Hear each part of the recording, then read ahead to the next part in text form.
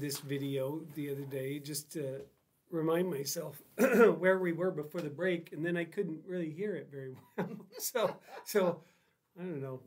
If you can't hear, you have to turn your volume up or um, tell me I'm wasting your time by posting these. So, we are in Acts chapter 9, and let's begin. In the name of the Father, and of the Son, and of the Holy Spirit. Amen. Heavenly Father, we thank you for your servant Paul through the, the message of the gospel that he proclaimed and, and that we still proclaim through, through your inspired word. Help us to understand and better your word as we meet together. Guide us by your Holy Spirit and give us joy in Jesus and in his victory. In Christ's name we pray. Amen. Amen. Well, we were we did last last week we ended at verse 19 after the conversion of Saul there and I think we talked a little bit about the the how he tells the Lord tells Ananias that he's going to that not to be afraid he's going to go and tell Saul that he's going to be the apostle and then he says that he's going to show him how much he must suffer for the cause of my name or for the sake of my name. And that we talked a little bit last time about that that is one of the things that Jesus warned the disciples, told the disciples that would be part of their ministry is that it would involve suffering. It's only through many tribulations we enter the kingdom of heaven, Acts 14 says, and and uh, that that's what we also have been called to. Second Timothy 3 tells us that that all of us will suffer for the sake of, of Christ's name in this life. And that is kind of a fearsome thing in a way, but you know, it's we'd rather we'd rather being a disciple meant ease and comfort and, and prosperity and all the things that go with that. But it isn't to be this side of heaven. But you know, as they say, the plus side is there's a great retirement plan. You know, we we get to be with Jesus one day, and and and He has us now, but will will bring us into His heavenly home. So there we we kind of went through, and and we talked a little bit about he immediately after Ananias comes and and he's Saul's been hasn't eaten or drank for three days Ananias comes and tells him God sent him, and he his scales fall from Saul's eyes. He rises up. He's baptized and he's strengthened, and that's where. So that's where we were. Verse verse nineteen. For some days, Saul was with the disciples at Damascus, and immediately. Yeah, I got my little And immediately Saul proclaimed Jesus in the synagogues, saying, He is the Son of God. Now that would be would, would seem to be about as as compelling an argument as you could ever make if somebody who has been doing nothing but try to destroy the gospel of Christ is all of a sudden and and the people know why he's going and why he's there. So so and all of a sudden he is preaching Jesus and he is there. Can you see it up here? Am I on the right part? Mm-hmm. so, so there he is in Damascus, up here, and and all of a sudden he's he's standing up and going to to the synagogues. He's going to their to the church, the place where they would be most horrified to see him show up. He's going to those places and telling them that no, Jesus really is the Son of God. That I've seen him with my own eyes. Can I interrupt you for a second? Yes. Um, is this the only place in the Bible that Saul turns to Paul? Saul will in he's in the Gentile contexts of the ministry later on. He's going to be Paul. Okay. And you know he he was had dual citizenship, so so it's possible his name Paul was was his I mean, he's a Jew. He wasn't a. So it's it's it's possible that that was the name he that he was known by whenever he was out traveling in the Gentile areas, and Saul in in these Jewish areas. Wish I could be like him, like Paul. Well, how so? You want another name? No, no, I don't want. I want this, this, this to be more, you know, uh, vocal. You know. Yeah. Know my my strengths and my weaknesses when I can talk, and nah, I talk whenever I feel like. I mean, you know. Well, if it makes you feel better, I don't notice that about you, but you seem to say pretty smart things to me. So, um, well, thank yeah. But he's but he's brilliant. I mean, if you were gonna if you were gonna make a list of of the people that you would say this is one that's gonna be gonna be a great apostle. He's gonna take the gospel. It wouldn't be the fisherman probably, or it wouldn't be maybe the the tax collector like Matthew.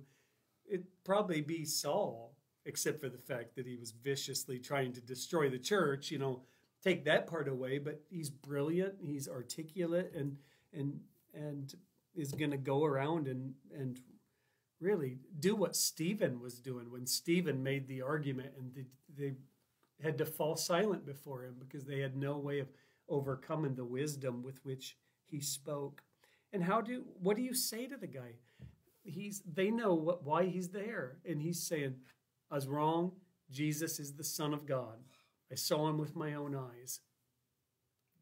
The Jews are going to and this is the the it's not ironic it's kind of sad but the reason he won't be able to carry out his ministry in the synagogue and in jewish it, primarily among the jews is because they are going to hate him as the worst traitor of mm-hmm. all.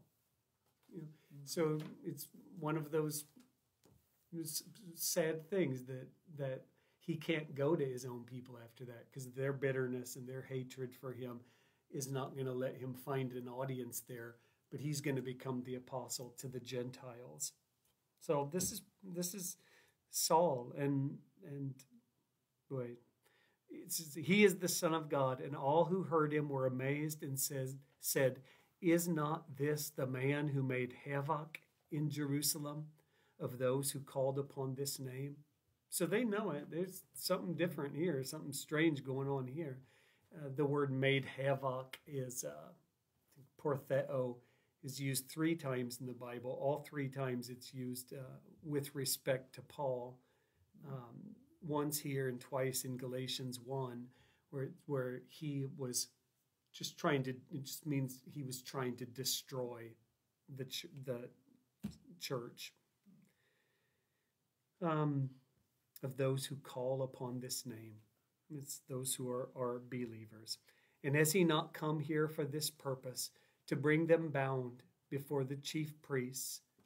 But Saul increased all the more in strength and confounded the Jews who lived in Damascus by proving that Jesus was the Christ.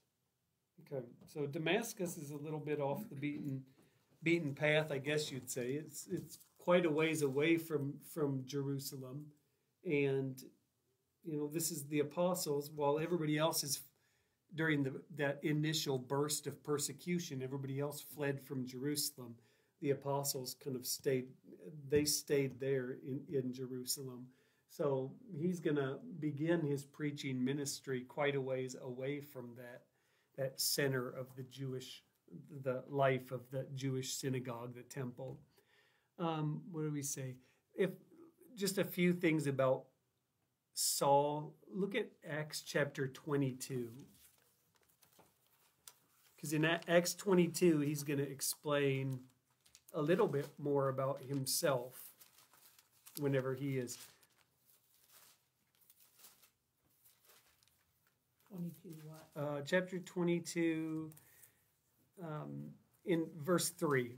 Now, Paul's been arrested here in, in Acts chapter 20, Acts chapter 21. He's, he's arrested, and the Jews are trying to tear him apart, and, and uh, the centurions, the temple guards there come down. They, they rescue Saul, and he's given his speech. Now he's going to speak in Hebrew to the people there in Jerusalem and explain himself.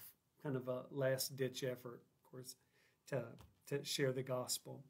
He said, I am a Jew, born in Tarsus in Cilicia, but brought up in this city, educated at the feet of Gamaliel. Let me see. Tarsus. I need a bookmark. There you go. Thank you. I'm so glad Martin's not sitting in this chair today. I hope he watches. Uh, Tarsus is up here, so this is where where Saul was from. So that's where he's. He says, "I was born in Tarsus in Cilicia, but brought up in this city." The presumption is that that he showed a lot of gifts, and that he I mean, if you were going to send your, your child away for expert training, you'd send them to whatever university. Well, if you wanted to send your, your child for religious training, it was going to be in Jerusalem. And if it was in, you know, if you were looking for the best of the best, it was going to be educated at the feet of Gamaliel, according to the strict manner of the law of our fathers. Now, if you remember Gamaliel um, earlier in the book of Acts, whenever is it Acts four when when they're when Peter and John are on trial and they're trying to decide what to do with him, uh, what to do with with the disciples and what to do with Peter and John. Might be Acts chapter five, but No, it's for Peter and John before the Sanhedrin. Uh-huh. is the so so Gamaliel gives gives because there's two trials there with with Peter and John, and Gamaliel gives them in one of these. He stands up and says his part and counsels them not to not to put them to death or not to to be harsh with them, but that if because if the message they're preaching is from God, they're going to find themselves fighting against God, and and there's nothing they could do to up to overthrow it if it's in fact is God who's the one that is given that given them the message that they're speaking. So um, yeah, it's in Acts chapter five. I'm sorry, but I mean you can put a you can kind of put a it, chapter five verse thirty four. They're on on trial there, the apostles. A Pharisee in the council named Gamaliel, a teacher of the law, held in honor by all the people, stood up and gave orders to put the to put the men outside for a little while. And he said to them, Men of Israel, take care what you are about to do with these men. For before these days, the Theudas rose up, claiming to be somebody, and a number of men, about 400, joined him. He was killed, and all who followed him were dispersed and came to nothing.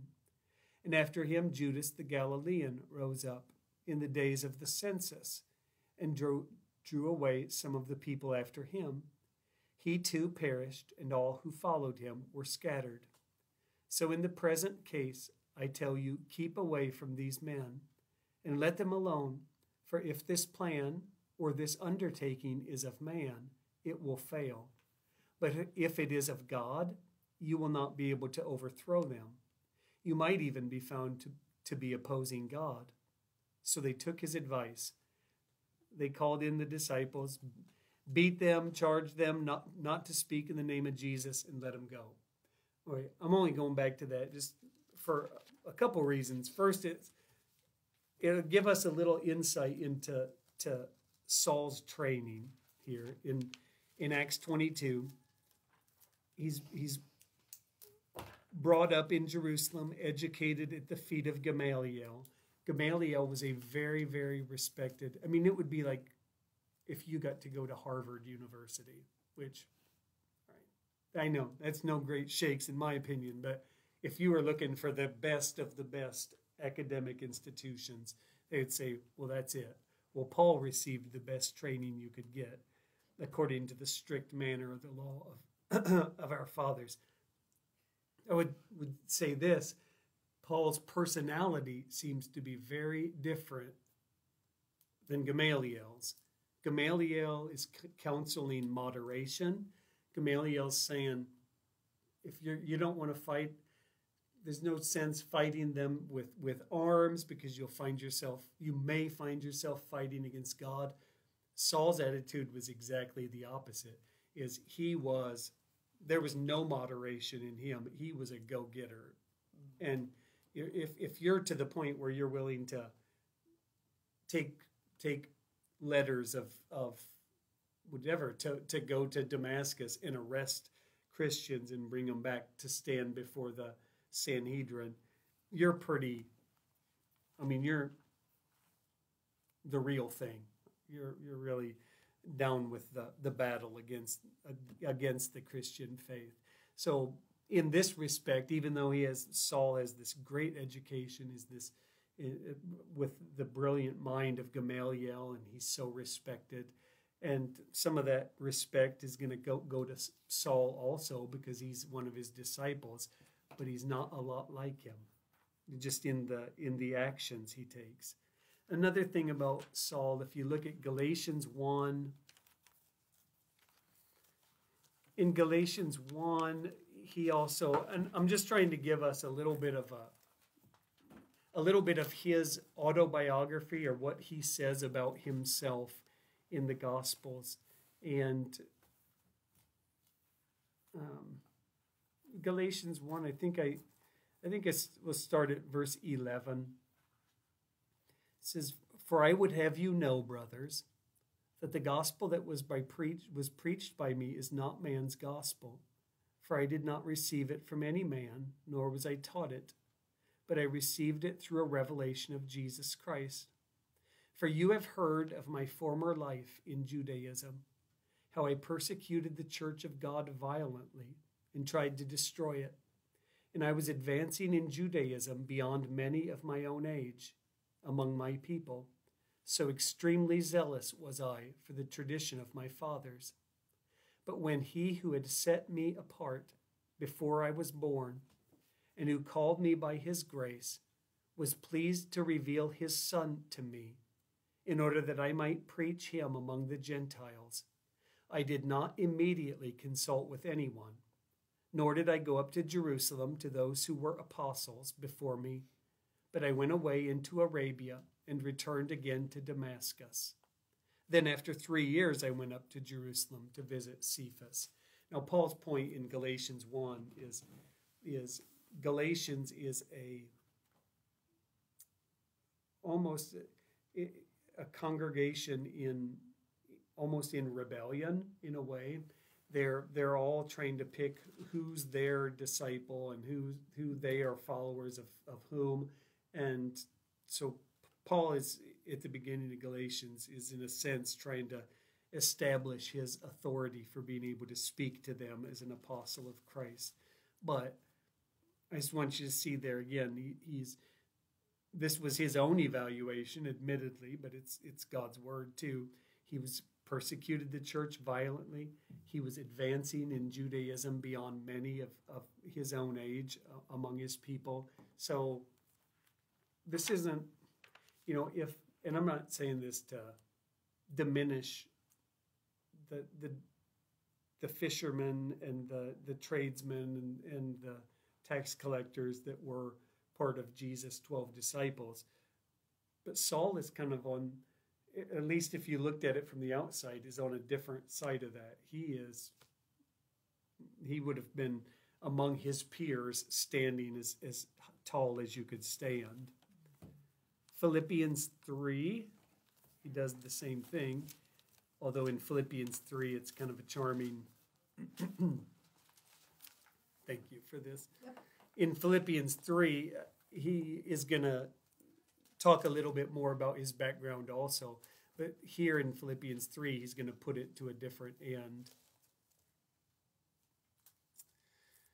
He says, Look out for, for the dogs, look out for the evildoers, look out for those who mutilate the flesh.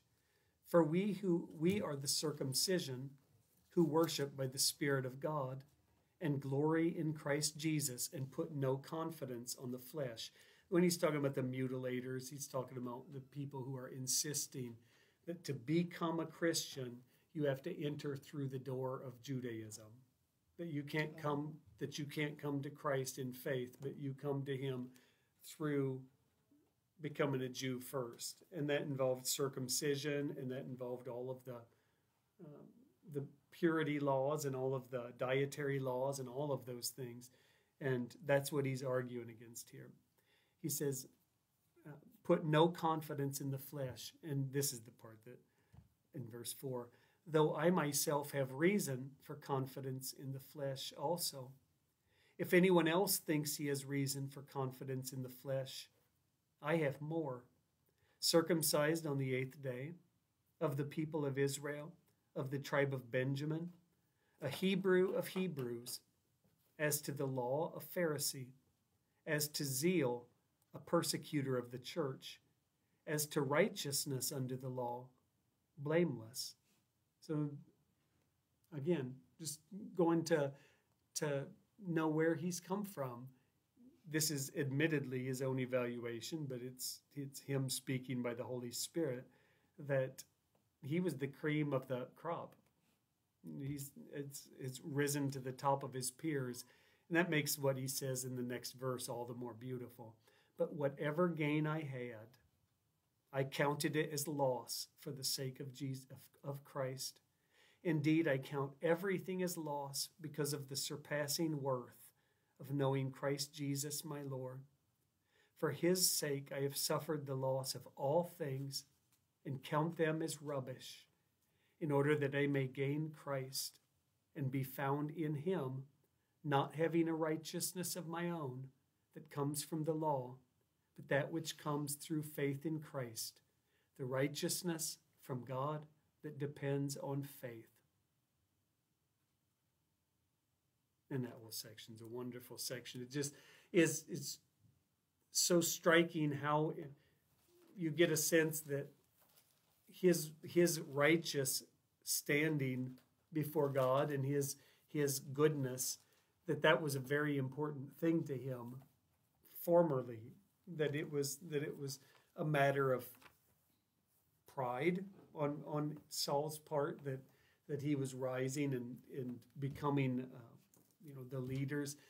But then after he comes to Christ in Philippians I love that he says all that stuff that before was so important to me I count it as rubbish. It's it's as as just garbage to be thrown out that I may gain Christ and be found in Christ not having a righteousness of my own. So that is the so that becomes the comfort that Saul now now will know.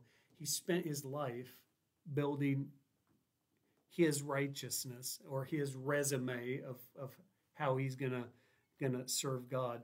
He's been building that by means of the law.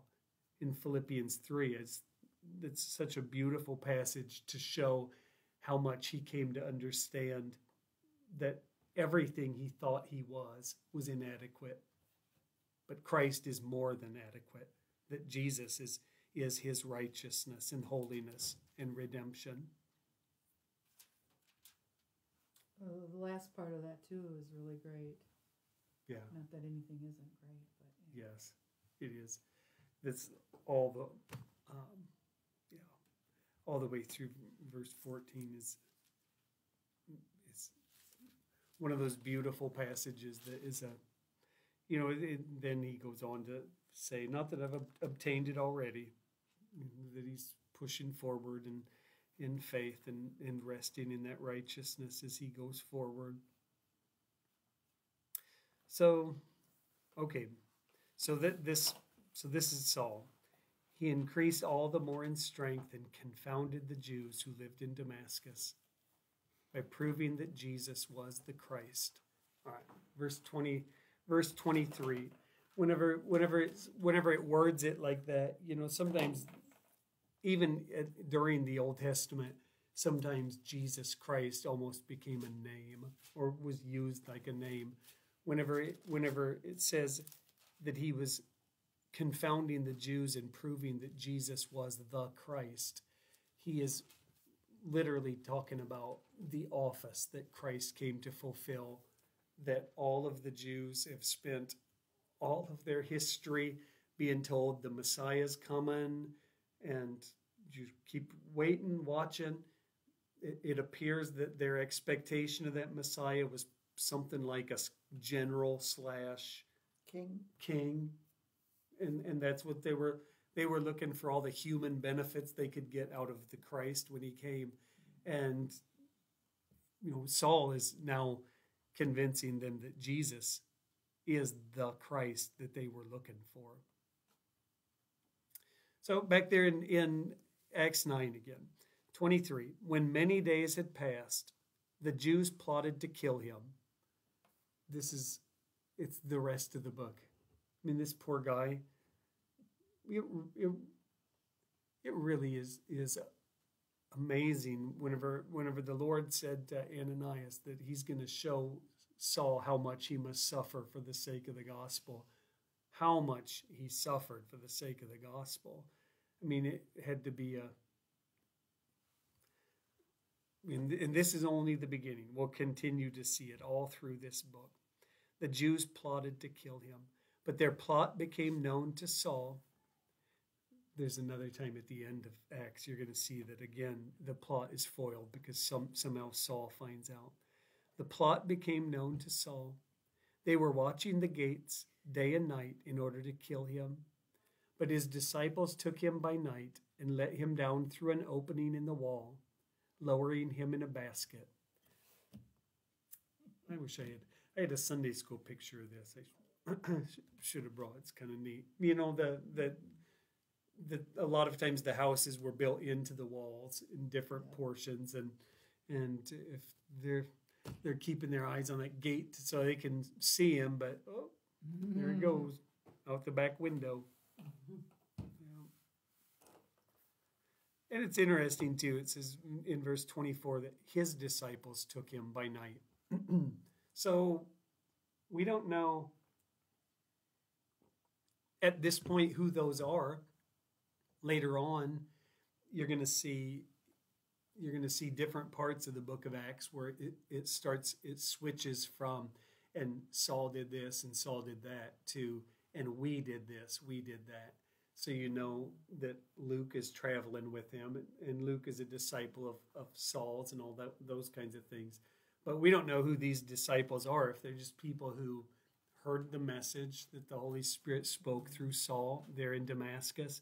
They were convinced and they were believers. And they loved him enough to, to get him out of there so he didn't get killed.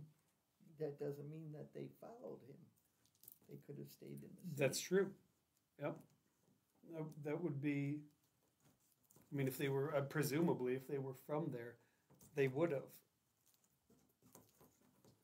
Okay. And when he had come, come to Jerusalem, he attempted to join the disciples, and they were all afraid of him, for they did not believe that he was a disciple. Did they know about Saul? The disciples?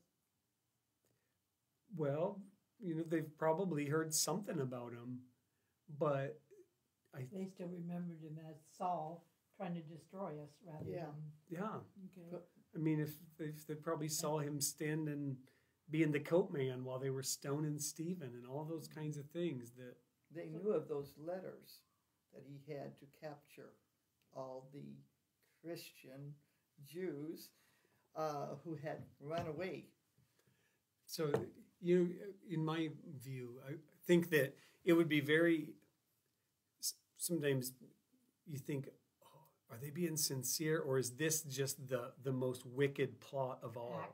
Mm-hmm. Because because now, yeah. if if we if he behaves himself for a few weeks, then comes in and gets in the inner circle and destroys you know, the apostles, oh, yeah. that would be you know, that'd be the cruelest defeat of them all. So they don't believe him anyway. But Barnabas took Saul and brought him to the apostles and declared to them how on the road he had seen the Lord who spoke to him, and how at Damascus he had preached boldly in the name of Jesus. So Barnabas we met in Acts chapter 4. Right? At if you remember in Acts chapter 4, it was it's talking it's in verse 36 acts chapter 4 36 it's talking there in acts chapter 4 about how the community of belief excuse me of believers there in jerusalem was almost a commune, the way we think of, of sharing everything. They shared all their things. In verse 36, it says, Thus Joseph, who was also called by the apostles Barnabas, which means son of encouragement, a Levite, a native of Cyprus, sold the field that belonged to him and brought the money and laid it at the apostles' feet. So that's the first time we meet Barnabas. He's a, a native of Cyprus. He's he's he's on board. I mean, he is down with the the he believes in it. He sold his property and laid it at the apostles' feet to help sustain the church.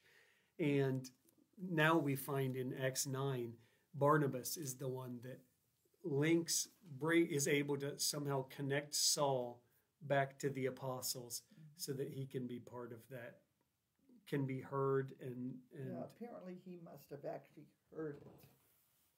Maybe he was there. Uh it doesn't doesn't say that. I Yeah. think it's probably more likely that he heard or had some relationship with the with the people that were in damascus maybe that he trusted. See he is going to be if antioch is right here whereas damascus is down here later on you know in acts chapter 4 barnabas is down in jerusalem. He's selling his property and giving it to the disciples. Later on barnabas is going to become a big part of this church in antioch. So it's possible that you know they had you know that he heard some of the things that were going on there in damascus. Um, i don't know. We don't we don't necessarily know how those two got connected but they are going to become a mission team. And they are going to make the first missionary journey and preach the gospel and really take it farther than it's ever been been proclaimed before. Barnabas took saul brought him to the prof- the apostles and declared to them how on the road he had seen the lord who spoke to him and how at damascus he had preached boldly in the name of jesus. So he went in and out among them at jerusalem. This is saul. So he went in and out among them at jerusalem preaching boldly in the name of the lord. And he spoke and disputed against the hellenists. A hellenist would be could be just a, a greek speaker but it's probably greek speaking jews. says grecian jews. Yes. Says what? What? Grecians. just greek speaking Mhm. Yeah. So, and again, he, he spoke and disputed against the Hellenists, but they were seeking to kill him. And when the brothers learned this, they brought him down to Tarsus and sent him, he, they brought him down to Caesarea and sent him off to Tarsus. It's just like a PBS documentary, isn't it? Uh-huh. So- be filming this. That's right. Can we can we get tight? so here's Jerusalem. Caesarea is down here on the coast, and then Tarsus is where he's from, and and he gets sent off to Tarsus, and that is going to be an interesting time for for Saul because he will certainly be sharing the gospel and preaching the name of Christ the whole way but he's also going to be getting back to his studies. You know, to, you got to think that uh, that he's going to be poring over the scriptures and saying, "How did I miss this?" And and, and so he's going to spend. Can you imagine him as a Jew now with his friends who are still Jewish and trying to convince them? You know, I mean, imagine the heartbreak Yeah. all the time for him. Um, Wow. you say that, and I, this is the epistle lesson from this coming Sunday Sundays from Romans chapter eleven, and uh, they cut this up, so this is terrible because it's not gonna. I should just go get my bulletin because I won't remember the verse, but in in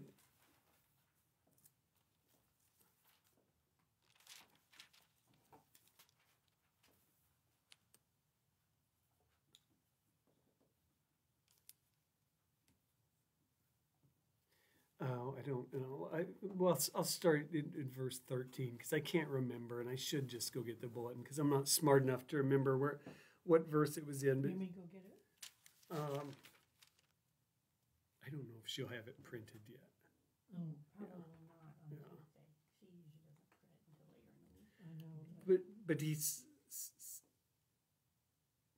but he's talking in here about how he wishes for for that he that he should even be cut off from Christ if it would somehow if it could save save the church of Christ and so people would you know that and to me that speaks to boy he did it he did ache for these people that that were just like he was. They didn't know the gospel. They didn't know what they were doing was wrong.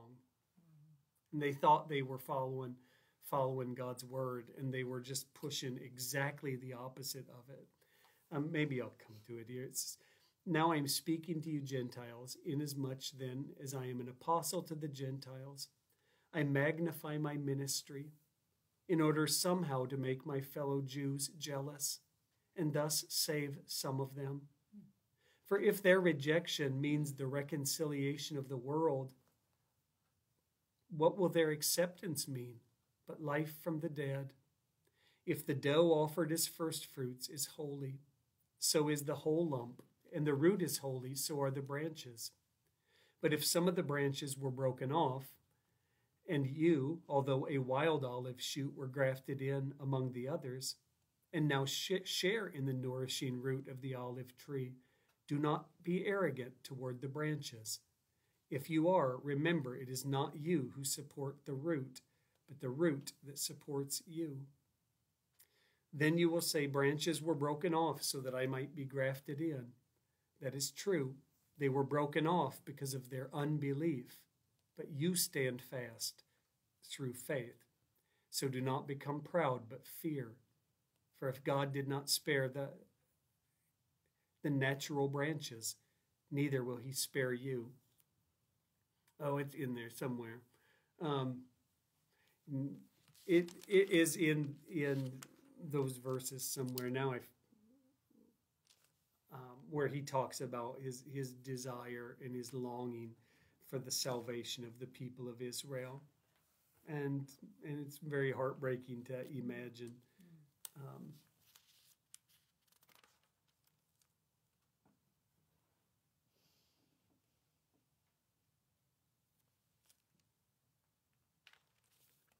read verses 9 through 11 you'll in romans we'll, we'll, we'll you'll find it. So you don't have to do to do that now but the su- the substance of what paul is saying was say in there is essentially is exactly what you said.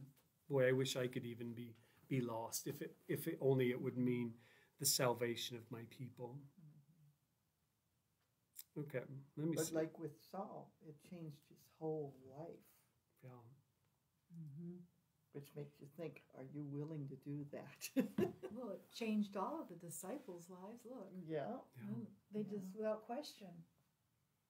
Yeah. grab hold and, and shook them down to till there was nothing left and then rebuilt them and, and sends them out. Okay, so where did we? Verse thirty-one. Ah, very good. Okay, so the church throughout all Judea and Galilee and Samaria had peace and was being built up. So Saul's gone. He's in Tarsus and he's he's going through his his own new educational experience. The church in Judea and Galilee and Samaria had peace and was being built up. And and in that you hear that that there is it's been expanding. We've seen that ever since the ever since the persecution that ended up in Stephen's death, that the church, the people were fleeing from Jerusalem and taking the gospel with them hmm. into all of those various places. So am I getting the impression they sent him away so that the Christians there would become stronger without him? Was he? I mean, it sounds like that to me. Well, I think they sent him away for his health Because they were going to kill him. because the people were going to kill him. Okay, so they weren't Christians yet; they were just plain Jews. Okay, I thought the apostles sent him away. Yes, they did. The apostles sent, they, the apostles helped him escape because the other people were going to kill him. Gotcha. Yes. Yeah. Okay. That is that's how I how I take that. Yeah. So and walking in the fear of the Lord and in the comfort of the Holy Spirit, it multiplied. Um, you know, the church grows in times of it's it's often said that the church, the greatest periods of the church's growth have come in times of persecution. And that's probably true, just looking at the I mean the church has always to some extent been been facing those different issues, but it's, it's in the good times and bad times. During the time of persecution, they were spreading, the gospel was going forth.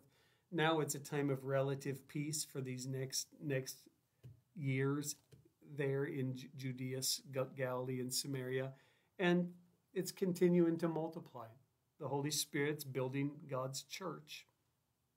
Now, as Peter went here and there among all, he came down also to the saints. Love that, love that word, you know, the holy ones, because it tells us a saint is not somebody who can prove three verifiable miracles or go through a canonization process, but saints are actually believers in Christ Live because or dead. Uh, yes, that's right. Because it's in Christ and through faith in Christ that God declares us to be holy. So we're saints, we're holy ones. Now, Luther would would always say we are at the same time sinner and saint. So we have both these realities, but before God in Christ, Paul will say, Christ Jesus has become our righteousness, our holiness, and our redemption. So where's my righteousness? It's Jesus. And and my holiness, it's in him. That's where it's all at. And righteous lives, God wants lives lived in righteousness to follow, but what allows me to stand before God as a saint is is to be covered in his his precious blood and his innocent sufferings and death. So Peter came down to this also to the saints who lived in Lydda, and that is there. So that's pretty close. To the saints who lived in Lydda, and there he found a, na- a man named Aeneas, bedridden for eight years, who was paralyzed. And Peter said to him, Aeneas, Jesus Christ heals your heals you. Rise and make your bed. And immediately he rose, and all the residents of Lydda and Sharon saw him, and they turned to the Lord. More faith than some others. no matter all the miracles they saw. Yeah. Wow. I've often thought if I could do that, I would have a more successful ministry, but But then you're not human. I mean, nobody thinks of you as human because Well, you're now doing magic. yeah, Mhm. then it's a magic trick and yeah. So I'm just But the presence of you, you know, the encouragement, the I was kind of halfway teasing this wouldn't it be great to be able to go out and prove it by oh yeah, you know, making the bedridden person for eight years to stand up.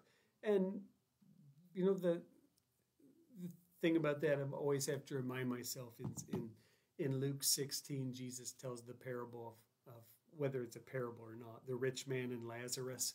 And remember, the, the rich man is looking up from the bowels of hell, saying, "Please send send one of my brothers to, or Lazarus to dip his tongue in or his finger in, in water and touch the tip of my tongue. So go send send someone to speak to my brothers." And his word at the end of that is, if they don't listen to the prophets, they won't uh, to, to the law and the prophets, they won't hear and listen, even if somebody should rise from the dead. Mm.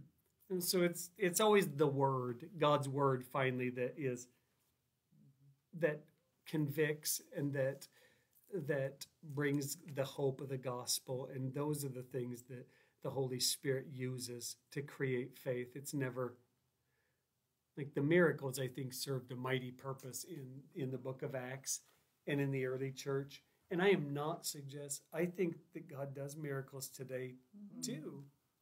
I think that I think He does it. He heals people that shouldn't be healed. He He raises people that shouldn't be raised.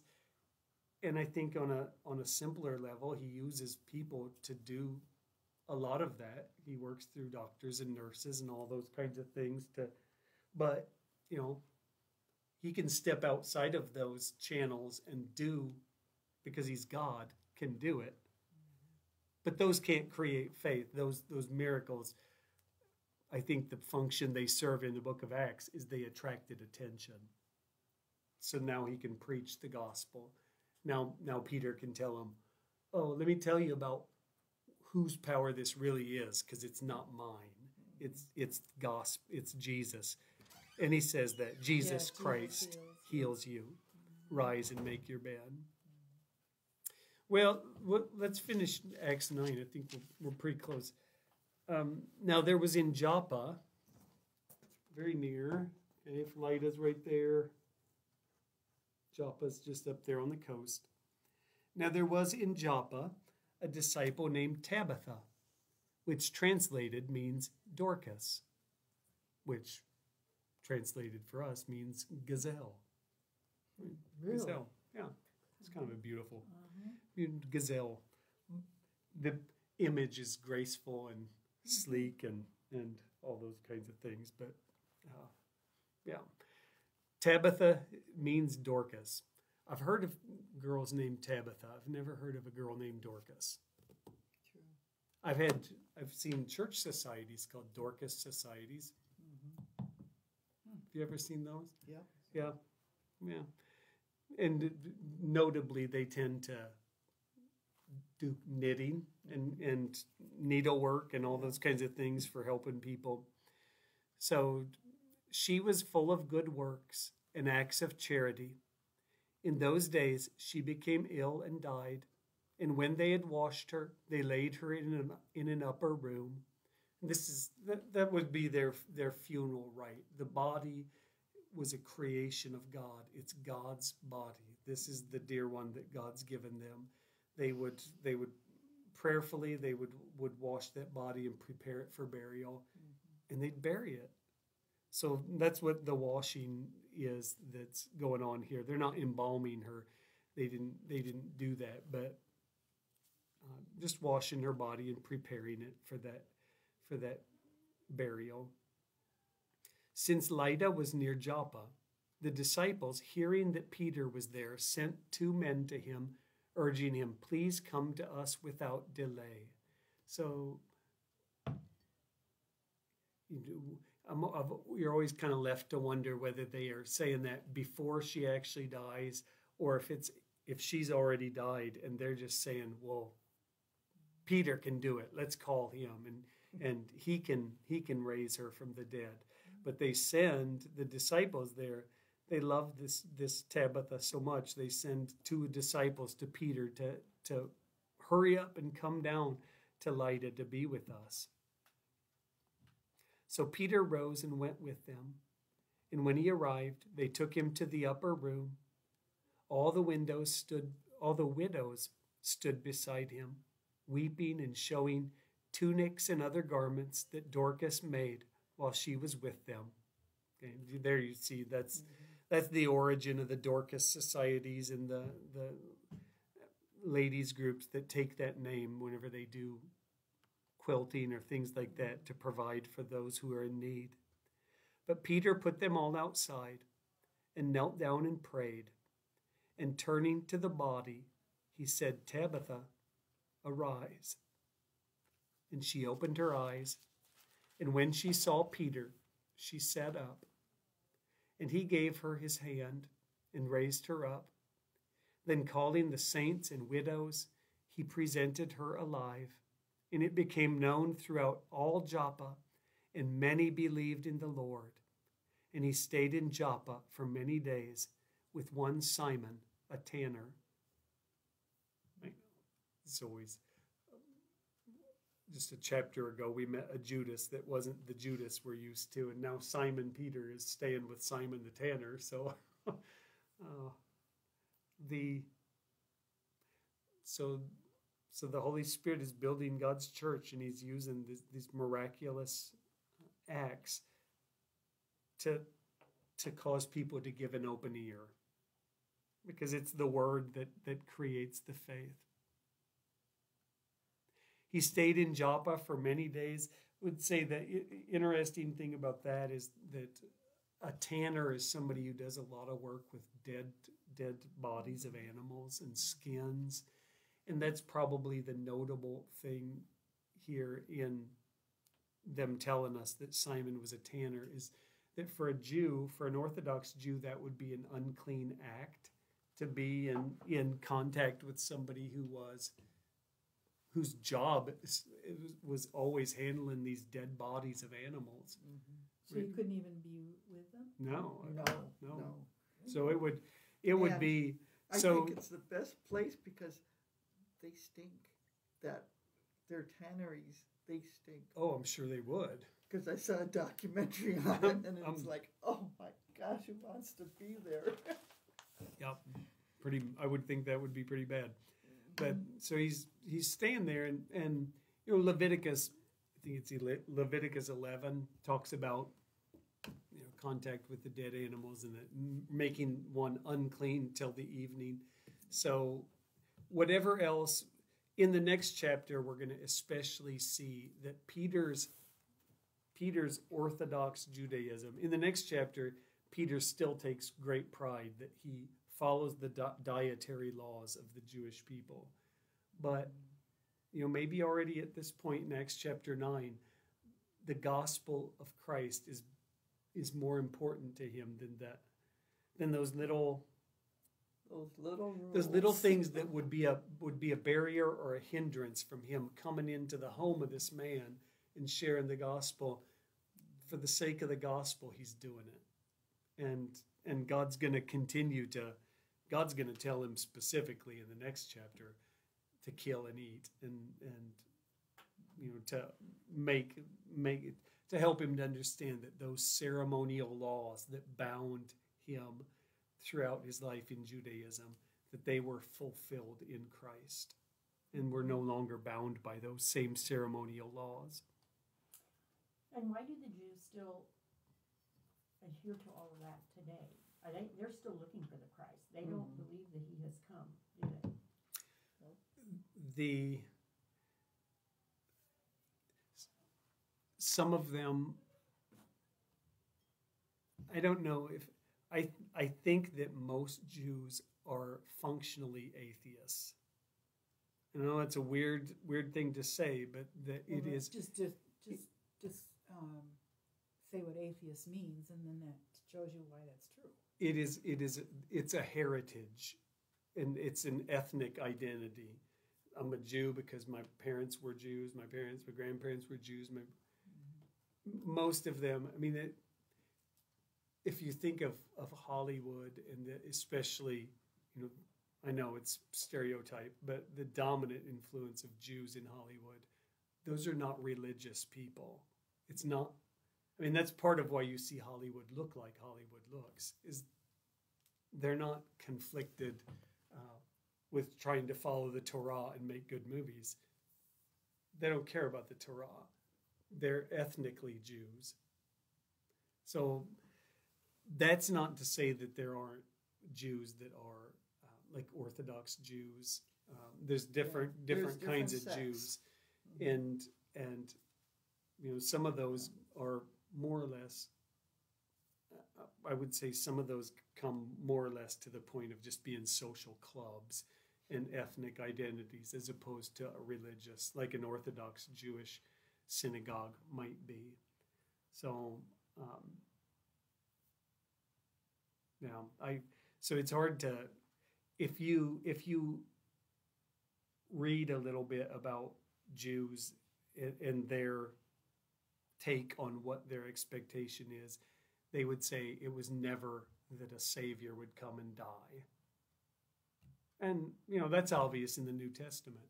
So they're so to the extent that they're looking for anything, they're looking for the land to be restored, to, for God to put down all their enemies, and th- those are the real nationalist kind of um, Jews that are really fighting for the restoration of Zion. Um, Because they don't believe in the New Testament. right, None of that exists for them. right. So they're looking for. They're, it's all political. It's all political, and it's all um, the restoration of that land and military and, and kings, king kind of a conquering leader kind of a thing. Yeah. So, Are there more um, miracles in the Bible? I can't think of any that disciples did. Um, yes, they'll can. I mean, we'll see them. Okay. Yep, we'll see him, and we'll see Saul is going to get in on the. I want to say that. That sounds bad. He's going to get in on the the miracle game. God's going to do miracles through through Saul and Barnabas here during his ministry too. Yep. and that doesn't.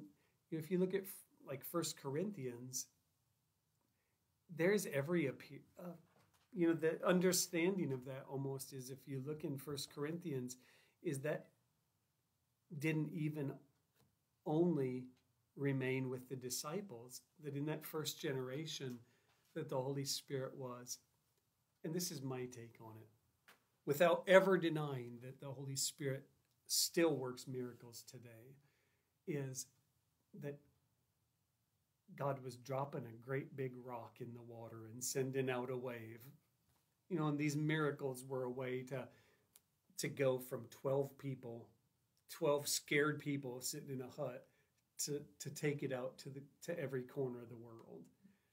So and the reason the only reason I'm saying that is because we kind of wouldn't we we love to see wouldn't we love to see Peter go into this the room and and bring us all in and be able to stand there and see it and we don't see that very often. Not saying it's not possible, we can. God heals. God God does his miraculous work. But I think in the book of Acts it's on steroids because God's is doing something big here to to and I, I always heard Acts was the book to read if you want to know about your, if you want to understand the church and everything. It's a good one. Mhm. Yep. All of the epistles would be you know, would be good ones too for uh, because they are written to specific churches going through specific problems and he tells speaks to them how to address it you know like corinthians for instance and their their communion issues and how messed up their communion well paul orders it for them so that's those are helpful helpful kinds of things well well so it's god's church. This is this is my i think that that unquestionably we have seen especially in what the so-called non-generation is a an apostasy from the church in what's called often called gen z. And that it is that there are, a lot of a lot of young people that just are not there anymore and it's really easy to become to worry about the future of the church. And and we do that because we don't trust perfectly and because we're sinners and because we love people that that we know have walked away from the promises of God. And we wish they'd come back and we because we know it's important. Acts helps me to helps me to if there's one thing that I am by nature it's a pessimist and that's a that's a bad thing that's a sinful thing and it is one thing that that acts helps us to see is that there's one thing a christian can't be is a pessimist. That whenever we know who's won the victory already and and how the the final score is going to be going to play out we know jesus is in his heaven and he's got it all in, in his control then really pessimism is a you know that's a faithlessness on my part and it's something to always say oh god help me to you know help me to know it's still your church. You're still your word still has power that you'll still build your kingdom wherever your words proclaimed. And and he's done it in the past and he can do it in our generation also. Well we'll close. Heavenly Father, you you sent out your your 12 and and Saul among them and Barnabas to proclaim the good news of the gospel. And through their their teaching you brought many to know salvation. We pray that in our day you would continue to to let your the voice of your gospel go forth and that you would cause it to bear fruit, that you would help us in all of our circumstances in our families in our in our workplace, in our friendships, our associations, wherever we are, to, to speak the name of Jesus. And we pray that, that you would, would let those seeds that are planted bear fruit in your good and perfect time. In Jesus' name, amen. Amen. Thank you. Thank you. I think we'll, I think we'll be here. There's no reason we wouldn't be here. So I'll see you next Tuesday. If you can hear this,